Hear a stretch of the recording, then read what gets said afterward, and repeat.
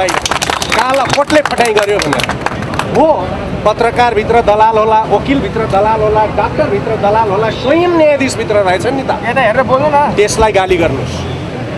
तर कानुन व्यवसायीहरू न्यायका लागि लड्ने मान्छे हुन्। त्यस कारण यो आन्दोलनका तिनवटा पक्ष छन्। एक देशभरिका मान्छेहरूले निरङ्कुशताका विरुद्धमा लडेर शान्त अशान्तिलाई शान्तिमा रूपान्तरण गरेर संविधान सभाले आठ वर्ष लगाएर बनाएको जुन संविधान हो त्यो संविधानको संरक्षण गर्नुपर्छ भन्नका लागि यो आन्दोलन हो। यो विद्रोह। एक। यदि यो जमातले यो कानुन व्यवसायीहरूको समूहले यो बोलेन भने संविधान बाँच्न सक्ने स्थितिमा छैन। एक। दोस्रो कुरो। यो कानुन व्यवसायीहरूको समूहले गरिबको न्यायको लागि बोलिराखेको छ आज। तपाईँहरू जेलमा गएर हेर्नुहोस् गरिब जति जेलभित्र छ। जसले पैसा तिर्न सक्दैन त्यो मान्छे जेलमा छ। कसरी जेलमा राखिन्छ आज त्यो गरिबलाई? जिल्ला अदालतमा न्यायाधीशले उसलाई छोड्यो भने सर्वोच्च अदालतबाट हाइकोर्टबाट आदेश हुन्छ। किन छोडिस्? अनि त्यो व्यक्ति जब पुनरावेदन हाइकोर्टमा आउँछ सर्वोच्चमा आउँछ अनि बिचौलियाहरूले लेनदेन गरेर यहाँबाट मुद्दा छिनिन्छ पैसा खान माथिबाट छिनिन्छ। त्यस कारण यो गरिबका लागिको न्याय हो महिलाका लागिको न्याय हो जनजातिका लागिको न्याय हो बच्चा बच्चीका लागि न्याय हो हर व्यक्तिका लागिको न्यायको लडाइँ हो। यो आन्दोलन त्यस अर्थमा न्यायको आन्दोलन हो। काला कोट लगाउने मान्छेहरूले त्यहाँ बहस गरेर पैसा कमाउनु पाएनन् भन्ने आन्दोलन होइन। यो मात्रै एउटा व्यवसाय हो जसले आफ्नो व्यवसाय धरापमा राखेर पनि आन्दोलन गर्ने तेस्रो कुरो यो आन्दोलन लोकतन्त्रको समर्थनको लागि आन्दोलन हो। देशको व्यवस्थापिका पाँच वर्षका लागि आउँछ कार्यपालिका पाँच वर्षका लागि आउँछ तर यो मात्रै एउटा निकाय हो जो सदा स्थायी हुन्छ। लोकतन्त्रमा यदि न्यायपालिका बाँचेन भने लोकतन्त्र बाँच्दैन। त्यसकारण यो लोकतन्त्र बचाउने आन्दोलन। मेरा थुप्रै पुलिस मित्रहरू हुनुहुन्छ यहाँ। उहाँहरूका लागि मैले धेरै काम गरेको छु। उहाँहरूको सुधारका लागि काम गरेको छु। तपाईँहरूका जागिर अप्ठ्यारोमा पर्दा लड्ने जमात हो त्यस कारण वकिललाई घच्याउने काम नगर्नुहोस् आज। वकिलको शरीर छुने काम नगर्नुहोस्। को डिएसपी हुनुहुन्छ को एसपी हुनुहुन्छ? तपाईँहरूलाई प्रशिक्षण गरिएको छ। यदि तपाईँहरूले कानुन व्यवसायलाई सम्मान गर्न सक्नु भएन भने तपाईँहरू न्याय कसलाई दिनु यो अदालतको आदेशको विरुद्धमा तपाईँहरू गेट बाहिर बस्नुहोस् र कानुन व्यवसायलाई बोल्न दिनुहोस्। तपाईँहरूमाथि हुने अन्यायको विरुद्धमा यही वकिलले बोल्ने। तर त व्यवसाय संसारमा सबैभन्दा मर्यादित व्यवसाय हो। त्यसकारण म वकिल हुनु राम्रो छ। मेरो जागिर चलेन न्यायाधीश हुन्छु भनेर म नगइदिएको भएदेखि गलत न्यायाधीश नियुक्त हुन्थ्यो। मैले त्यति बेलैदेखि भन्दै आएको कुरो हो। यो कानुन व्यवसायबाट यसरी राजनैतिक रूपमा टिप्ने कुरा गलत हो। त्यस कारण मैले भने एक जमानामा मैले पनि गल्ती गरेँ मैले टेलिभिजनमा बोलेँ म हाम्रा पूर्व माननीय न्याय मान माननीय सर्वोच्च अदालतका सम्मान्य न्यायाधीशहरूलाई भन्छु तपाईँहरूले गल्ती गरेको कुरो सार्वजनिक रूपमा पहिला माफी माग्नुहोस्। तपाईँहरूले कहिले राति चौन्न नियुक्त गर्नुभयो कहिले राति सत्तरी नियुक्त गर्नुभयो अनि मात्रै मान्छेले तपाईँहरूले भनेको पत्याउँछ। होइन भने हिजो पदमा हुँदा चौन्नजना पार्टीका लिस्टबाट नियुक्त गरेँ भनेर वक्तव्य दिनुभयो अनि आज यो मान्छे चाहिँ गलत छ भन्दाखेरि कसैले पत्याउँछ? म तपाईँहरूलाई सम्मान गर्छु। तपाईँहरू बाटोमा आउनु भएको छ तर आफ्नो गल्ती स्वीकार गरेर आउनुहोस्। हामीले हिजो गल्ती गरेको हो भन्नुहोस् जसरी मैले एउटा सानो मिस्टेकमा माफी मागेको छु टेलिभिजनमा सार्वजनिक। त्यस कारण हेर्नुहोस् न्याय इमान्दारिता हो न्याय इन्टिग्रिटी हो। यदि मर्यादामा प्रश्न हुन्छ भने म व्यक्तिगत रूपमा कुनै व्यक्तिको कुरा गर्न चाहन्न तर म प्रधान सम्माननीय प्रधान न्यायाधीशलाई भन्छु जब एउटा वकिलले तपाईँलाई क्वेसन उठायो तपाईँ आफ्नो मर्यादाका लागि होइन त्यो पदको मर्यादाका लागि सकुशल बाहिर भेटिनुहोस् यदि तपाईँ इतिहास बाहेक दुनियाँमा कसैले कसैलाई सफाइ दिने अर्को भएको छैन तर इतिहासले मानिसलाई सफाइ दिन्छ त्यसकारण म तपाईँहरूलाई आह्वान के गर्छु भन्दाखेरि यो आन्दोलन जान्छ। मान्य न्यायाधीशहरू यो आन्दोलन जान्छ। म अहिले हाइकोर्ट र जिल्ला अदालतमा बसेका न्यायाधीशहरूलाई भन्छु तपाईँहरूका लागि कानुन व्यवसायहरू लडिरहेका छन्। यदि यो खालको न्यायका न्यायपालिकामा बसेर तपाईँहरूको इन्टिग्रिटी रहन्छ भने तपाईँहरू जागिर खाइरहनुहोस्। तपाईँहरू बेन्चमा मुद्दा निर्णय गरिरहनुहोस्। तर यही खालको अदालतमा तपाईँले कतिपय साथीहरू हुनुहुन्छ मुख्य न्यायाधीश हुँदाखेरि प्रधान न्यायाधीशको ढोका छिर्न पाउनु कोही मान्छेले एउटा मुद्दा आदेश दिएको मुद्दाभन्दा फरक मुद्दा। जुन आदेश दिएको थियो त्योभन्दा फरक मुद्दा निर्णय गरेको कारणले उसको सरुवा हुन्छ। त्यसकारण अदालत मर्छ। हामी अदालत बचाउनका लागि आन्दोलन गरिरहेछौँ। कसै व्यक्तिको विरुद्धमा होइन। कुनै न्यायाधीशको विरुद्धमा होइन। म कुनै व्यक्ति चिन्दिनँ मैले चिनेको भए न्यायाधीशको कुर्सी हो। म त्यो कुर्सी फोहोर भयो भन्दैछु। व्यक्तिको बारेमा मलाई केही पनि भन्नु छैन। यो फोहोर भयो भनेर जब कसैले हमला उठाउँछ र उसलाई मौका दिनुहोस् फोहोर उसले देखेको छ सफा गर्न आउन दिनुहोस्। यदि उसले सफा गर्न आउँदा फोहोर रहेन रहेछ भने उसले महसुस गर्छ होइन कुर्सी फोहोर रहेन रहेछ मैले गल्ती गरेको छु त्यही हो अघि मैले भने इतिहास इतिहासले तपाईँलाई सफाइदिन्छ तर फोहोर रहेछ भने तपाईँलाई इतिहासले बाँकी राख्दैन। र म यो भन्न चाहन्छु राजा ज्ञानेन्द्रले राजा ज्ञानेन्द्रले लगाएको सरकार त्यति बेला यही बिल्डिङ हो जुन बिल्डिङले भन्यो राजालाई त्यसो गर्ने अधिकार कतिपय पत्रकारहरू भन्दै हुनुहुन्छ कतिपय भन्दै हुनुहुन्छ कि यसले गलत ट्रेन त ल्याउने होइन। गलत ट्रेन ल्याउने हो भने त त्यसो भए त स्लेबरी हटाउँदा गलत ट्रेन आउँथ्यो स्लेबरी नहटाउने। त्यसो भए महिलाहरूको मुक्तिको कानुन बनाउँदाखेरि गलत ट्रेन आउन सक्थ्यो त्यो कानुन नबनाउने।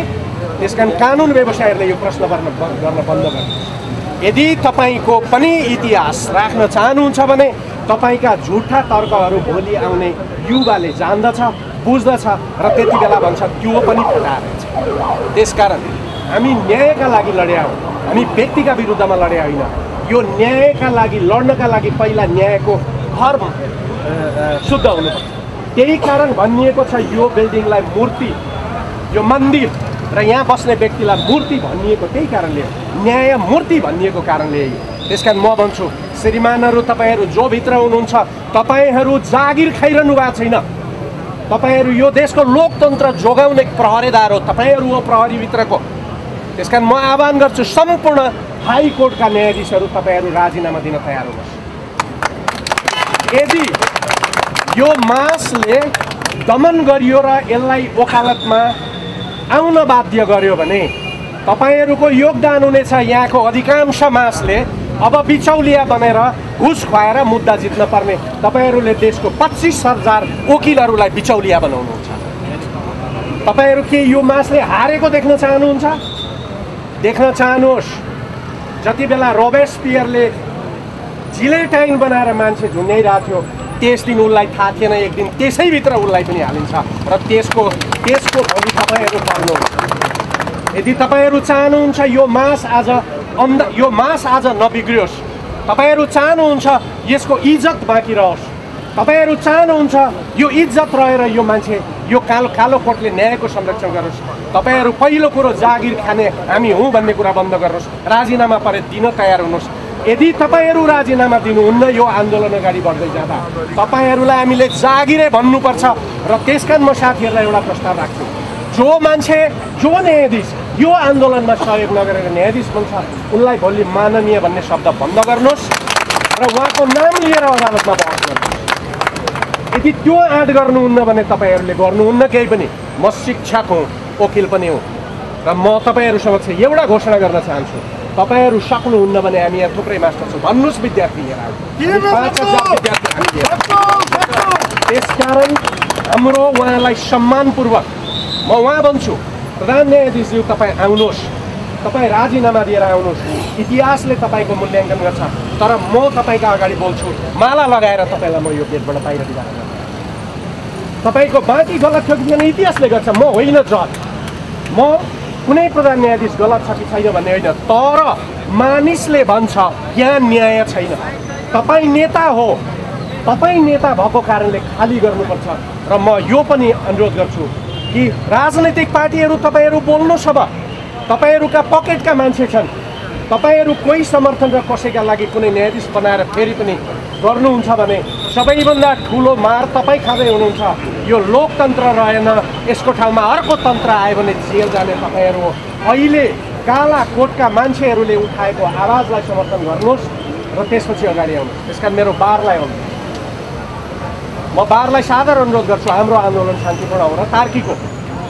म कानुन व्यवसायी साथीहरूलाई अपशब्द प्रयोग नगर्नका लागि।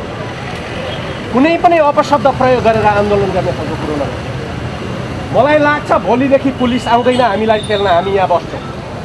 र म तपाईँहरूलाई अनुरोध गर्छु भोलि पनि यो पुलिस तपाईँ हामीलाई खेल्न आयो भने त्यसपछि यो पुलिसको बारेमा हामीले बुझ्नुपर्छ र म यो पुलिस त्यसपछि यो पुलिसको क्लास लिन म छोड्छु र म यो पुलिस पाउँछु। यो पुलिस कल्चरस पुलिस होइन र साउथ एसियामा मोडल पुलिस हो भनेर मैले भाषण गरेर यसले टर्चर गर्दैन भनेर भाषण गरेको कारणले पुलिसको शिर ठाडो छ।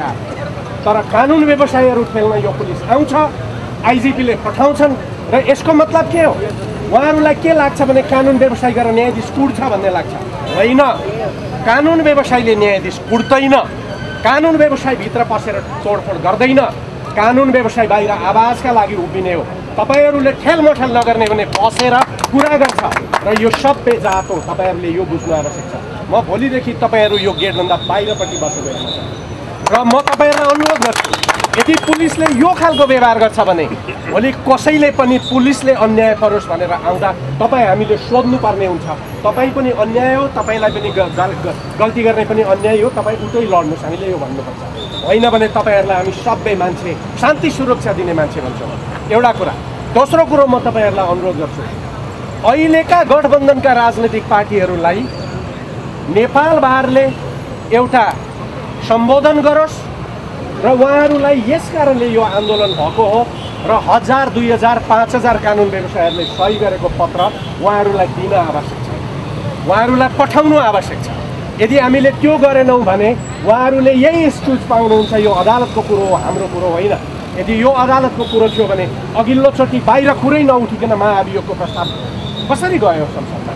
त्यो पनि अदालतको कुरा थियो। यदि त्यो सही हो भने यो सही हो। यदि यो गलत हो भने त्यो पनि गलत हो। तपाईँहरू चुकिसक्नु भएको छैन। त्यस कारण दोस्रो कुरो। तेस्रो कुरो म कानुन व्यवसाय साथीहरूलाई के भन्छु भन्दाखेरि के अनुरोध गर्छु भन्दाखेरि हामी कानुन व्यवसायीहरू सभ्य नागरिक सभ्य मान्छे भएको कारणले गर्दाखेरि हामीले लगाउने नारामा हामीले बोल्ने कुरामा मुर्दाबाद भन्ने शब्द बन्द गरौँ। हाम्रो सभ्यतामा मानिस मर भन्ने कामना गरिँदैन। मुर्दाबाद।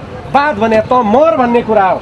अर्कै के नारा तपाईँहरू बनाउनु बनाउनुहोस् हामीले नै यहाँभित्र मुर्दाबाद गरेपछि बाहिर मुन्द्रेले के नारा हामी मान्छे मर भन्ने कामना गर्न सक्छौँ।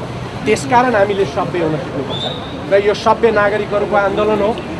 र के भनिन्छ भन्दाखेरि संसारमा जुनसुकै आन्दोलनमा धेरै ठुल्ठुला आन्दोलनमा जबसम्म बार आएन तबसम्म आन्दोलन भएन। इन्दिरा गान्धीको बडा कष्टपूर्ण इमर्जेन्सी थियो। तबसम्म संसारमा भारतमा यो इन्दिरा गान्धीको विरुद्धमा कुरा उठेन। तर जब बम्बेमा कानुन व्यवसायीहरूले जुलुस निकाले तब त्यसपछि एक महिना पनि लागेन इन्दिरा गान्धीको सत्ता समाप्त भयो। र म तपाईँहरूसँग यति मात्रै अब लास्टमा के कुरा सेयर गर्न चाहन्छु भने यो देशमा कानुनले कानुन व्यवसायीले न्यायपालिकाभित्र गलत छ न्यायपालिकामा संविधानको व्याख्या गलत भएको छ। न्यायपालिकाभित्र अन्याय भएको छ। यहाँ बिचौलियाहरूले पैसा खान्छन् र न्यायाधीशहरू राम्रा न्यायाधीशहरूको धेरै राम्रा न्यायाधीशहरूको मानमर्दन भएको छ। बढुवा हुँदैन उहाँहरूको जे पायो त्यही गरिन्छ भन्ने कुरो यही अदालतभित्र बस बस्नेले भन्दा कसले भन्ने? पत्रकार र नेताले भनेर जान्ने हो। त्यसका नेताजीहरूलाई मेरो अनुरोध छ। जब वकिल बोल्यो यो अन्याय हो भनेर तपाईँहरूले यसको अर्को विकल्प छैन मान्नको लागि। त्यसकारण देशभित्र अन्याय छ गरिबले न्याय पाएको छैन। धेरै कानुन व्यवसाय साथीहरूलाई सँगसँगै एउटा अनुरोध गर्छु। अहिले तपाईँहरू जेलमा गएर बुझिदिनुहोस्। उनलाई अभियोग कायम हुँदा हुने चार वर्ष तिन वर्षको सजाय काटेर तिन वर्षदेखि जेलमा मुद्दा छिरिएको त्यसको मुद्दाको लागि पनि आवाज उठाउनु कैयौँ विदेशीहरू छन्। जो कोरोनामा भित्र परिवारसँग भेट्न पाउँदैनन् त्यो पनि नागरिक हो त्यसको मानव अधिकार छ। त्यसको बारेमा पनि आवाज उठाउनु। तपाईँहरू आह्वान गर्नुहोस् मेरो तेस्रो माग लिलामणिजी तपाईँले एउटा कमिसन बनाएर बारको बाहिरपट्टि राखिदिनु पर्यो ककलले न्यायमा को को व्यक्तिहरू घुस दिन बाध्य भएर घुस खुवाएर फैसला गराउन बाध्य भए उनीहरूको जाहेरी लिने तपाईँले बाहिरपट्टि राख्नु तब खुल्छ सबै तब आउँछन् मान्छे। त्यति बेला मात्रै मान्छे आउँछन् जब तपाईँको आन्दोलन तुइँदैन बारले यसलाई छोड्दैन र कथित कानुन व्यवसायहरू राजनैतिक सङ्गठनको नाममा यो आन्दोलन बाँड्दैनन् भन्ने विश्वास गर्छन्। त्यसपछि बाहिर आउँछन् मान्छे कतिले घुस दिएको छ कति दिएको छ भनेर भन्न आउँछन्। त्यसकारण यो शुद्धिकरण अन्तिममा म तपाईँहरूसँग एउटा कुरा भन्न चाहन्छु। जति बढी ठुलो आन्दोलन हुन्छ जति बढी सङ्कट ठुलो हुन्छ त्यसको व्यवस्था त्यति नै राम्रो हुन्छ। म त यस अर्थमा खुसी छु कि अब अदालतमा न्यायाधीशले छाडा हुन पाइँदैन भन्ने सङ्केत त गइसक्यो अब छाडा भएर आज आज छाडा भएर वकिल साहब आज भएन भनेर पाँच उम्ला देखाउने जमाना त गइसक्यो। अब पाँच उम्ला देखाउने काज गर्नुहुन्न। एक। तर यसलाई टुङ्गामा पुर्याउनु तपाईँहरू साथीहरूले धेरै भन्नुभयो तपाईँ देखिनु भएन। म पढाउने मास्टर हो तपाईँहरूले सकिन भन्नुहोस् त्यसपछि विद्यार्थी लिएर आउने जहिलेसम्म तपाईँहरू यहाँ वकालत गर्नुहुन्छ म वकालत गर्ने मान्छे होइन। त्यस कारण हिम्मतसँग भन्छु म पैसा लिएर त्यस कारण मलाई बोल्नु बोल्न जान्छ किनभने मैले भोलि मुद्दा बहस गर्न जाँदा मलाई हराउने पनि चिज छैन जिताउने चिज। छैन तर म तपाईँहरूका लागि लडिरहेको छैन कानुन व्यवस्था न्यायिक सुदृढीकरण अभियानको कुरा गर्दा धेरै साथीहरूले फर्स्ट लिस्टमा यो आन्दोलन